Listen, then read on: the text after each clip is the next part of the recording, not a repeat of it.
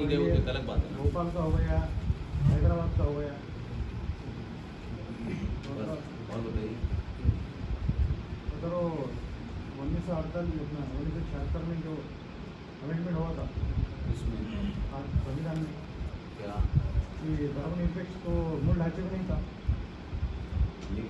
आप उन्होंने ही डाले और उन्नीस सौ तिहत्तर के अंदर जो केशवानंद भारती के साथ केस था तो उसके अंदर उन्होंने संविधान के मूल ढांचे की व्याख्या करी कि इसमें धर्मनिरपेक्ष रहेगा। लेकिन वो तो मूल ढांचे में नहीं था बाबा साहब ने बनाई वो तो मैंने ही कहा उसमें नई बात क्या सवाल क्या कर रहे हैं? तो मुझे पता है तो मैंने बोला था कल। फिर क्या कहना चाहते हैं? नहीं तो what is your sub question तो वही मुझे पूछना क्या है? आपको सारी बात बता दी मैंने उसको बताना क्या है आपको?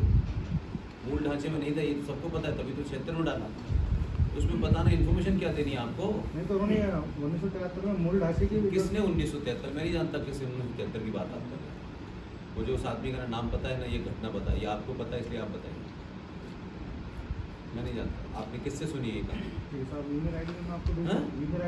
में मतलब मेरे पास फालतू का टाइम है कि आप ईमेल आईडी देंगे मैं मैं आपसे पूछ रहा हूँ कि आप जब उन्नीस सौ तिहत्तर की घटना का ज़िक्र कर रहे हैं तो बताइए ना क्या था वो? और कहाँ पढ़ी आपने? पता नहीं किस आदमी का नाम ले रहे हैं। मैं तो जानता नहीं। मैं जो बात कहता हूँ वो तथ्य पे कहता हूँ। बता दिया। अब आप उन्नीस सौ तिहत्तर की घटना बता रहे हैं जो आपने सुनी है आपने बताई। और आप उसे बता नहीं पा रहे। ईमेल आईडी से क्या करूँगा?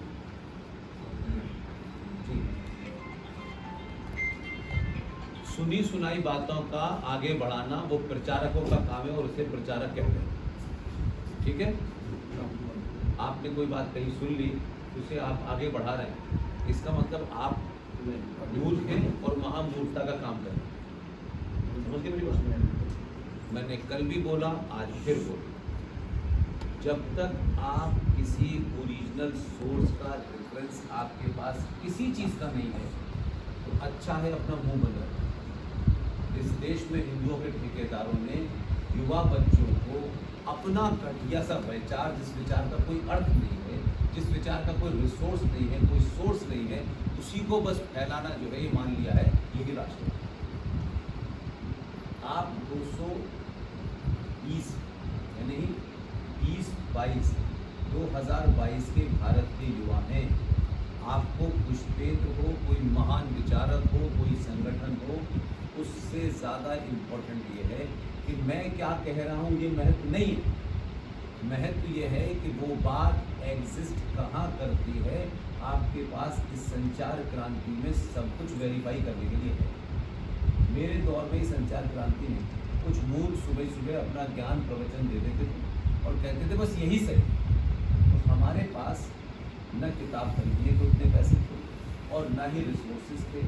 और आज संचार क्रांति के माध्यम से आपके पास दुनिया की सारी इंफॉर्मेशन आप वेरीफाई कर सकते हैं कि पुष्पेंद्र जी ने ये कहा, ये झूठ बोला, ये गलत फैक्ट बताया, लिहाजा ये आदमी गलत बोलता है। ठीक? अब आप तय करें कि मैंने जो बोला, वो है ओरिजिनल सोर्स का रेफरेंस नाम पेज नंबर किताब का नाम बता बाकी जितने हिंदुओं के ठेकेदार हैं, वो कहते हैं, ये हम कह रहे हैं। आप भगवान नहीं हैं। आप ओरिजिनल सोर्स नहीं हैं। आपकी मार्केट में कोई स्टैंडिंग नहीं है नहीं है कि नहीं तो आपके पास मूर्ख बनने का कोई रास्ता नहीं।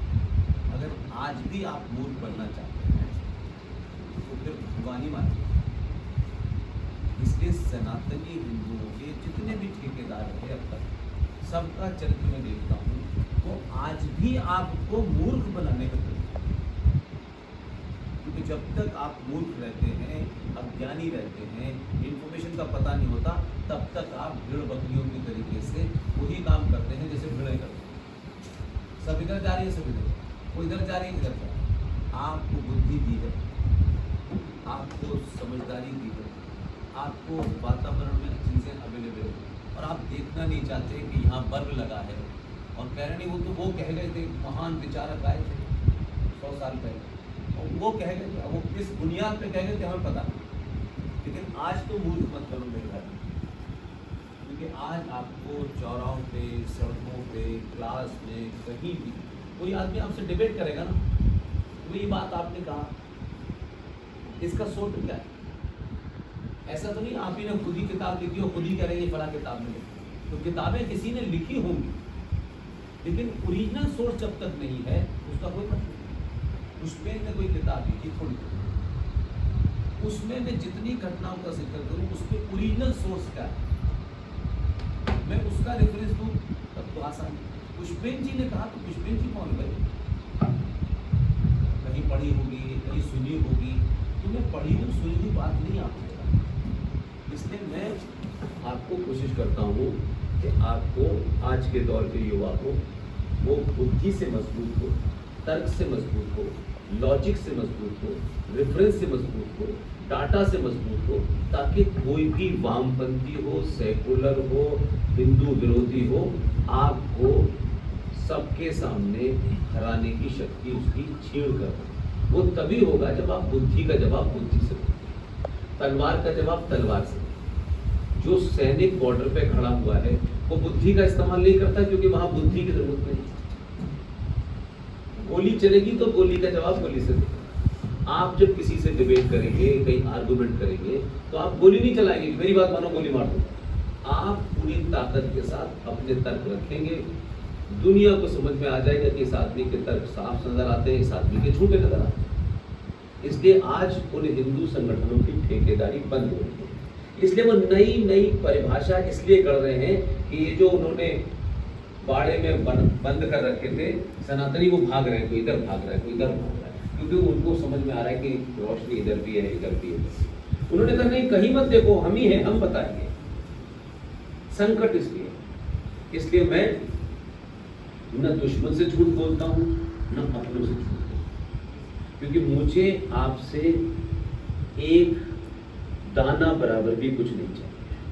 मैं ये भी नहीं चाहता कि मेरे जाने के बाद आप ताली बजाएँ, कि पुष्पे जी बहुत मान, ये भी नहीं चाहता। आप अगर कुछ कर सकते हैं तो उस विषय को जिसको मैं रखता हूँ, उसको वेरीफाई करिए दो दो बार वेरीफाई और आपका अगर वो तर्क मज़बूत हो जाए तो फिर किसी से डरिए मत। इतना ही मेरा मतलब। आप ब्राह्मण हैं, ठाकुर हैं